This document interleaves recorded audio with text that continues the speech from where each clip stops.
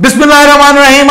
नाजरीन, मैं हूँ बाबर हयात और आप देख रहे हैं 24/7 उर्दू न्यूज़ पर होम एक्सपेंस के ताउन से Babar Hayat show you can't ask for a better final than this oh my god what an amazing amazing grand finale of Pakistan super league season 9 कमाल हो गया जी, कमाल हो गया और हैरान कर दिया इस्लामाबाद। यूनाइटेड ने सबको हैरान कर दिया, मुल्तान को परेशान कर दिया और Imad Wasim you beauty take a bow oh my god what an amazing cricketer he is, what a great fighter he is, and what a great game changer he is.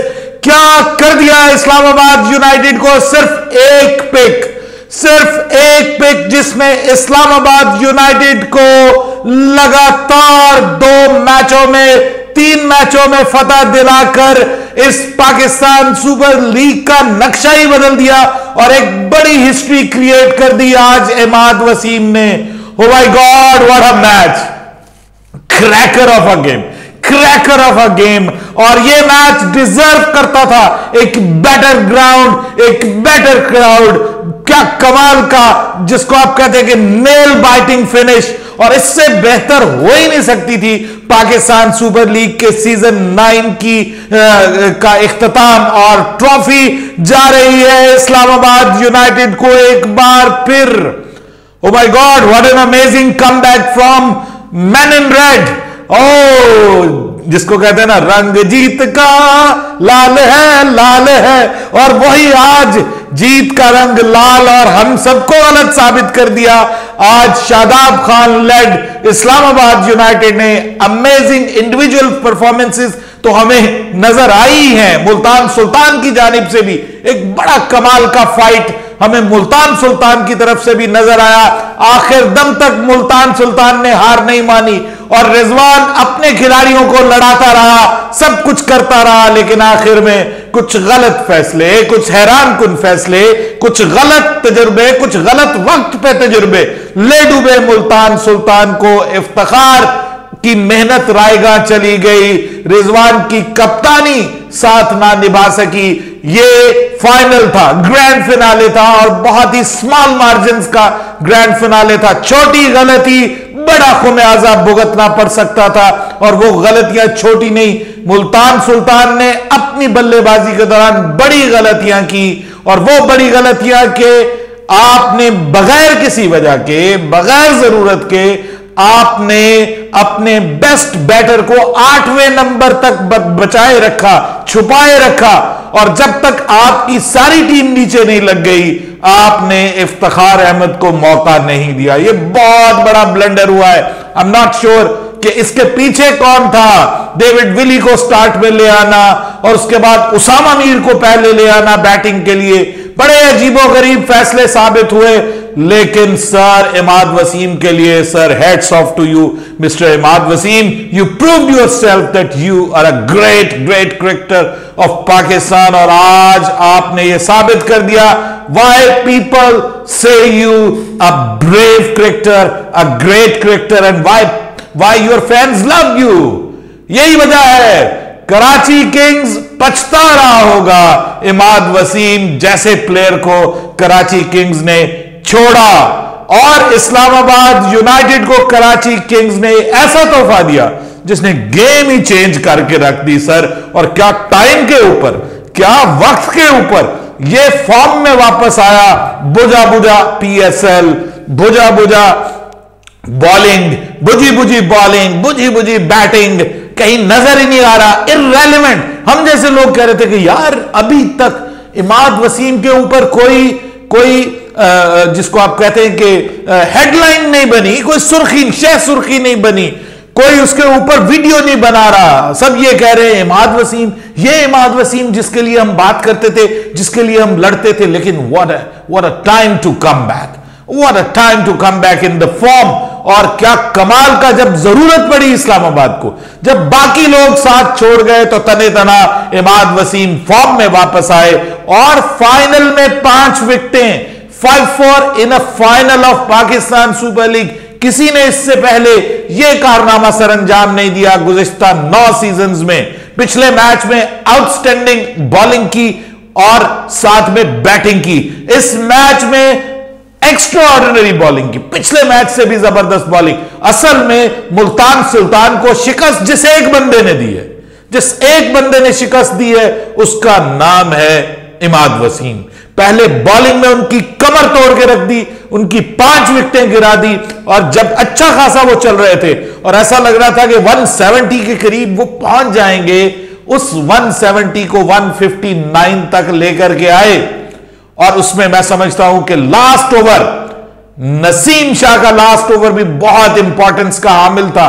Naseem Shah ने लास्ट ओवर में जो जिस तरह से run को बचाया, और जिस तरह से इफ्तार अहमद इस मैच को 170 तक लेके जाने के मूड में थे, उसको सिर्फ़ 159 तक महदूद रखा और उसके बाद सिर्फ़ वही नहीं आके बैटिंग में भी उन्होंने अपना रोल प्ले किया again Naseem Shah what an amazing come back after the injury we miss you in Pakistani team and we are looking forward to see you again in Pakistan team. We are looking forward to see Imad Wasim coming back to Pakistan team.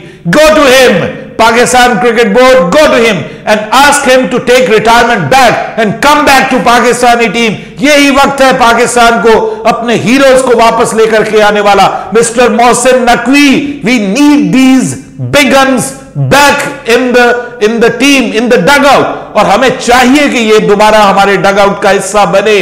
ऐसे लोग कि जो game change करते हैं आज लोगों को याद आ गया होगा पाकिस्तान और अफ़गानिस्तान का वो मैच कि जिसमें हिमाद वसीम ने शानदार परफॉर्मेंस दी थी और आखिर तक वो मतलब मिडिल ऑर्डर बल्लेबाजों के साथ भी खेला, वो लोअर ऑर्डर बल्लेबाजों के साथ भी खेला, वो टेलेंडर्स के साथ भी खेला। और उसके साथ ही उसने ये बताया कि मैच जीता कैसे जा सकता है। और credit goes to Hunain Shah last ball thriller बन गया था। वहाँ पर रन ना बनते तो प्रॉब्लम होनी थी। लेकिन नसीम शाह की वहाँ पे विकेट मोहम्मद अली ने भी बहुत बढ़िया ओवर किया, बहुत कमाल का ओवर किया। देखिए, ये मतलब इट वॉज़ एनी गेम हम ये नहीं कहते कि जो गलत फैसले हुए, वो हुए हैं। इफ्तार ने कम बैक करवाया 159 तक ले गए। खुशदिल शाह से रिजवान ने दो विकटें ली। यहाँ पे कप्तान की कप्तानी नज़र आई कि एक एवरेज प्लेयर को आप जब इस्तेमाल करते हैं प्रॉपर तरीके से तो वो आपको रिज़ल्ट देता है। उसके बाद फिर इफ्तार को राइट टाइम पे लेके आए। अनफॉर्चुनेटली आखिरी बॉल पे छक्का खाया, जो कि बहुत भारी साबित हो गया। हालाँकि रिजवान ने शानदार कप्तानी की है। ही विंस द हार्ट और, मैं समझता हूँ throughout Pakistan super league जितनी कमाल की कप्तानी इसने की है ऑन द फ़ील्ड आज इन द डग आउट मैं समझता हूँ कि गलत डिसीजंस हो गए, जो कि टीम को ले डूबे, जो कि, मैं कहता हूँ कि बहुत स्मॉल मार्जिन का ये मैच था। और मेरी प्रिडिक्शन गलत साबित हो गई मैंने कहा था कि 45 परसेंट इस्लामाबाद के चांसेस हैं, लेकिन 45 परसेंट भी ये सोच के कहा था कि ये काफ़ी होते हैं। एक टीम 50 क्रॉस कर सकती है, इसीलिए 45 तो बहुत क्लोज मार्जिन का थी। ये था और मुल्तान ने वहाँ पे गलती की, कुछ गलत तजुर्बे किए, उनकी बुनियाद पे आई थिंक सो कि इस्लामाबाद यूनाइटेड को स्निफ मिला और उसके बाद आज जो उन्होंने स्टार्ट किया मनरो स्टार्ट दे के चले गए। गुप्टिल ने बहुत कमाल की जो है वो इनिंग्स खेली और अनफॉर्चुनेटली आज़म ने ब्लंडर किया था। आज का मैच अगर हार जाती ना इस्लामाबाद, यूनाइटेड तो आज़म खान उसके कसूरवार होते। अच्छा खासा मैच चल रहा था। आज़म खान ने ये जो बटरफ्लाइज वाला बटरफ्लाइज इन द स्टमक वाला जो मैच बनाया ना, ये आज़म खान ने बनाया। अदरवाइज़ जिस तरह से मार्टिन गुप्टिल खेल रहे थे, ये वो उन्होंने ये मैच ले जाना था। वो मतलब कुछ नज़र ही नहीं आ रहा था। लेकिन फिर भी मैं ये कहता हूँ कि मुल्तान सुल्तान की तरफ़ से कप्तान की कप्तानी ने इंस्पायर किया, मोहम्मद अली ने इंस्पायर किया, उसामा मीर ने इंस्पायर किया, उस्मान खान ने आज अगेन 50 स्कोर की एक मुश्किल हालात के अंदर उसने अपनी टीम को सहारा दिया। एंड इफ्तार अहमद और an amazing P S L from Ifti भाई। अब हम और उनको कुछ नहीं कहेंगे। इफ्ती मैनिया चला है और आज के मैच में भी ऑलमोस्ट अपनी बॉलिंग के ज़रिए, अपनी बैटिंग के ज़रिए अगर आज की हेडिंग माफ़ कीजिएगा, मैं बहुत एक्साइटेड हो गया। अगर आज की हेडिंग इमाद वसीम ने इस्लामाबाद यूनाइटेड को चैंपियन बना दिया ना होती तो क्या होती? इफ्तार अहमद ने मुल्तान सुल्तान को चैंपियन बना दिया। सो ये आपको बता रहा हूँ तो दो ऑलराउंडर्स की आज बीच में जंग थी, जो इमाद वसीम ने at the end of the day जीत ली। इस्लामाबाद ने पांचवी ट्रॉफी जीती है।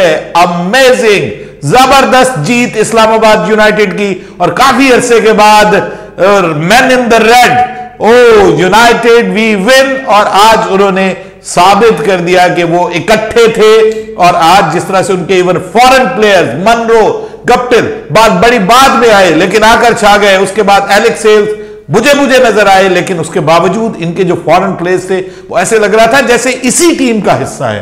सो एक जो स्ट्रेंथ नज़र आई इस टीम की, वो कमाल की decision making at right time और यही जीत की वजह बनती है। आपको कैसा लगा आज का मैच भाई, मेरा तो दिल खुश कर दिया। फाइनल देख के मुझे सिर्फ़ ये दुख हुआ कि ये फाइनल अगर लाहौर में होता, ये फाइनल अगर पिंडी में होता या ये फाइनल मुल्तान में होता तो ज़्यादा अच्छा होता। कराची वालों ने बहुत डिसअपॉइंट किया।